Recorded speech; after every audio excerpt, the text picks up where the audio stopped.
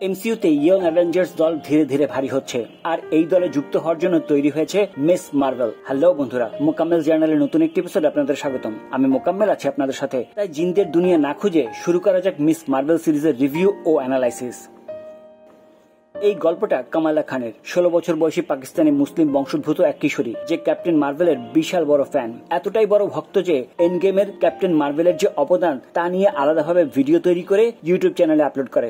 যদিও তার চ্যানেলের অবস্থা অনেকটা আমাদের চ্যানেলের মতোই, তেমন কোনো সাবস্ক্রাইবার নেই, তেমন ভিউও নেই। তার প্রিয় দুই বন্ধু হলো ব্রুনো ও নাকিয়া। কামালা অ্যাভেঞ্জার্স কনে যাওয়ার জন্য খুব উৎসুক, আর ব্রুনো কামালার জন্য ক্যাপ্টেন মার্ভেলের কস্টিউম তৈরি করে, যেটা পরে সে কসপ্লে পারফর্ম করবে অ্যাভেঞ্জার্স কন অনুষ্ঠানে। এবং ব্রুনো কামালাকে জানায় যে কস্টিউম সে তৈরি করেছে, সেখানে নিজের কিছু স্পেশাল ইনপুট থাকা প্রয়োজন আর এই স্পেশালিটি তাকে আলাদা করে তুলবে। আর এই স্পেশাল কিছু খুঁজতে গিয়েই স্টেডিয়ামে খুঁজে পায় কমলার নানির পাঠানো একটা ব্যাঙ্গেল যা মনে ধরে কমলার। তবে এই কস্টিউম তৈরির চেয়ে কঠিন কাজ হলো তার অর্থোডক্স বাবা মাকে ম্যানেজ করে সে অ্যাভেঞ্জার্স কনে যাওয়া। যেন তেন উপায় বাড়ি থেকে পালিয়ে সেই অ্যাভেঞ্জার কনে হাজির হয় কামালা। আর পারফর্ম করার আগে সেই বেঙ্গল পড়লেই অদ্ভুত এক মহাজাগতিক ফিল পায় কামালা এবং সেই মহাজাগতিক শক্তি ব্যবহার করে সে বাঁচায় জো জিমারকে এবং বাড়ি ফিরে ধরা খায় মায়ের কাছে। আর অ্যাভেঞ্জার কনে জো জিমারকে বাঁচানোর সেই ভিডিওটা নজরে পড়ে ডিওডিসির এজেন্টদের। কামলা ব্রুনোকে নিয়ে তার পাওয়ার কন্ট্রোল করার চেষ্টা প্র্যাকটিস করতে থাকে। তখন ব্রুনো তাকে জানায়, তার পাওয়ার বেঙ্গল থেকে আসছে না, তা মূলত আসছে তার ভেতর থেকে। আর পরে স্কুলে গিয়ে পরিচয় হয় কামরানের সাথে। আর প্রথম দেখায় কামলা ক্রাশ খায় দুনিয়াটা রঙিন এবং স্বপ্নময় হয়ে ওঠে কামলার জন্য। আর ঈদের দিন এক বাচ্চাকে নিজের সুপার পাওয়ার দিয়ে বাঁচায় কামালা। সেদিনই ডিওডিসি আক্রমণ করে বসে কামালার উপর। আর কামরান আর তার মা নাজমা কামলাকে বাঁচায় এবং নাজমা জানায়, কামরান সহ তারা সবাই জিন। তারা নূর ডাইমেনশন থেকে পৃথিবীতে চলে এসেছে। আর তাদের নূর ডাইমেনশনে ফিরে যেতে এই বেঙ্গলটা প্রয়োজন। এদিকে কামালার ভাই আমিরের বিয়ে। তাই বেশি সময় দিতে পারে না কামলা। কিন্তু তাদের প্রমিস করে এটা সে করবে। কিন্তু নাজমা অস্থির হয়ে ওঠে। আমিরের বিয়ের অনুষ্ঠানে হামলা চালায় নাজমা এবং সবাইকে রক্ষা করে কমলা। আর এই সময় ডিওডিসির দলটা উপস্থিত হয় সেই বিয়ের অনুষ্ঠানে এবং নাজমাদের সেই পুরো দলটাকে ধরে নিয়ে যায়। আর এখানেই করাচির একটা ট্রেনের ঝলক দেখতে পায় নাজমা এবং কামালা। এর পরপরই কামরার নানি তাকে কল করে করাচি আসতে বলে। কিন্তু কেন? স্বপ্ন আর নানির মধ্যে কানেকশনটা কি? আর এইসব কি, কেন, কীভাবে উত্তর জানতে হলে? আপনাকে দেখতে হবে এই সিরিজ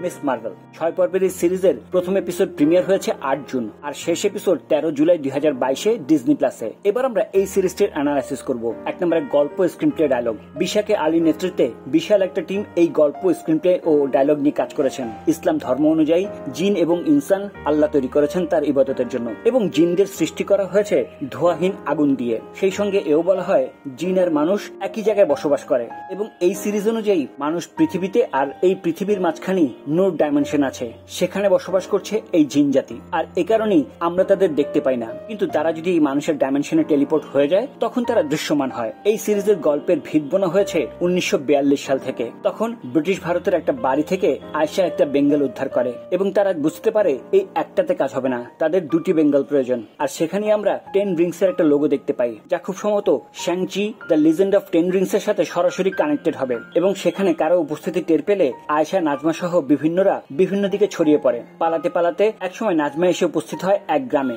সেই গ্রামে হাসান একজন স্বাধীনতাকামী মুসলমান এবং সে গোলাপের চাষ করে। সে কোনোভাবেই চাচ্ছিল না ধর্মের ভিত্তিতে দেশটা ভাগ হোক। আর সেখানে আয়সা এবং হাসানের প্রেম হয়, বিয়ে হয় এবং তাদের একটা মেয়ে হয়। ততদিনে দেশ ভাগ হয়ে গেছে। যেহেতু ধর্মের ভিত্তিতে দেশ দুই ভাগে ভাগ হয়েছে, তাই হিন্দুস্তানে মুসলমানদের জীবন দুর্বিষহ হয়ে উঠছিল। আর বর্ডারের ওপার প্রান্তেও ঠিক একই ঘটনা। ভিন্ন ধর্মাবলম্বীরা বাবা মায়ের ভিটাবাড়ি ছেড়ে শুধুমাত্র ধর্ম নিয়ে আরেকটা দেশে চলে যাচ্ছে। এমন অবস্থায় নাজমা খুঁজে পায় আয়সাকে কিন্তু আয়সা মানুষের পৃথিবীতে ভালোবাসায় বাধা পড়ে গেছে। ভারত থেকে পাকিস্তান যাওয়ার শেষ ট্রেন ধরতে গিয়ে খুন হয় আয়সা নাজমার হাতে। এবং সেই বেঙ্গল দিয়ে যায় তার মেয়ে সানাকে। এই সানাই হলো কামালার নানি। আর বংশ পরম্পরায় কামলাও একজন জিন। আসলে বেঙ্গলের কোনো পাওয়ার ছিল না। পাওয়ার ছিল মূলত কামলার ভিতরে।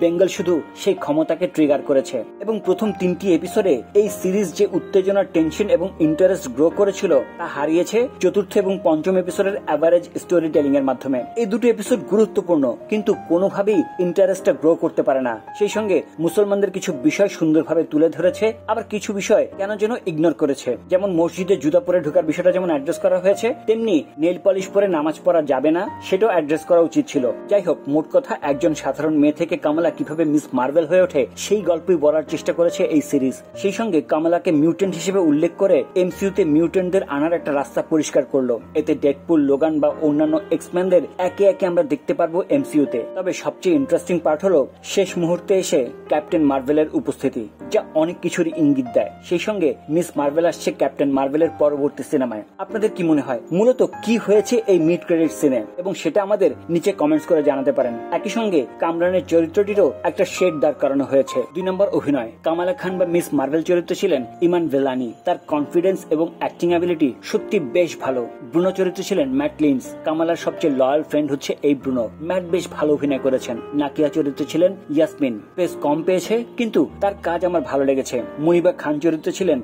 জেনোবিয়া। ঠিকঠাক ছিলেন। ইউসুফ খান চরিত্র ছিলেন মোহন কাপুর। তার স্পন্টিনিয়াস এবং সাটেল অভিনয় বেশ আরামদায়ক ছিল। কামরান চরিত্র ছিলেন রিশ শাহ। ঠিকঠাক ছিল। অ্যালেসিয়ার রেইনার ছিলেন স্যারি ডিভার চরিত্রে। এই চরিত্রটির অ্যাগ্রেশনের কারণ আমি বুঝিনি। কেউ যদি বুঝে থাকেন, আমাকে জানাতে পারেন। মেবিশ হায়াত ছিলেন আয়সা চরিত্রে। চমৎকার লেগেছে তাকে। করিম বা রেড ডেকার চরিত্রে ছিলেন আর মিস নাইট। এছাড়া ফারহান আক্তার, ফাওয়াদ খান, নিমরা বুচা সহ আরও অনেকে ছিলেন ভিন্ন ভিন্ন চরিত্রে। সবাই ঠিকঠাক ছিলেন। তিন নম্বর পরিচালনা। এই সিরিজ পরিচালনা করেছেন আদিল বিল্লাল, মীরা মেনন, শারমিন ওবায়েদ ও চিনয়। এই সিরিজ যে ফ্লো নিয়ে প্রথম তিনটি এপিসোড শেষ করেছিল, চতুর্থ ও পঞ্চম এপিসোডে এসে সেই ফ্লোটা নষ্ট হয়ে যায়। আবার শেষ এপিসোডে এসে সেই গতিটা ফিরে পায়। কিন্তু চতুর্থ ও পঞ্চম এপিসোড যদি আরও ডিটেলে কাজ করা যেত, আরও ভালো লাগতো। সব মিলিয়ে বর্ণ বৈষম্যের পাশাপাশি ধর্মীয় বৈষম্য যে আমাদের সমাজে বেশ ভালোভাবেই আছে, সেটা দেখানোর হালকা প্রয়াস ছিল এই সিরিজে। সেই সঙ্গে মিস মার্বেল চরিত্রটিকে এস্টাবলিশ করা হয়েছে একজন মিউটেন্ট হিসেবে। সব শেষে কানেক্ট করা হয়েছে ক্যাপ্টেন মার্বেলের সাথে। এর এর আগে যতগুলো সিরিজ এসেছিল, তার কোনোটি এভাবে এমসির সাথে সরাসরি কানেক্টেড হয়নি, যা হয়েছে এই সিরিজটি। আর এই কারণেই এই সিরিজটা নিয়ে আমার উৎসাহ প্রবল। আর আমাদের ভিডিও এখানে শেষ করছি। ভালো থাকবেন, সুস্থ থাকবেন। আর আমাদের ভিডিও ভালো লাগলে লাইক দিন শেয়ার করুন এবং সাবস্ক্রাইব করুন আমাদের চ্যানেলটি ধন্যবাদ।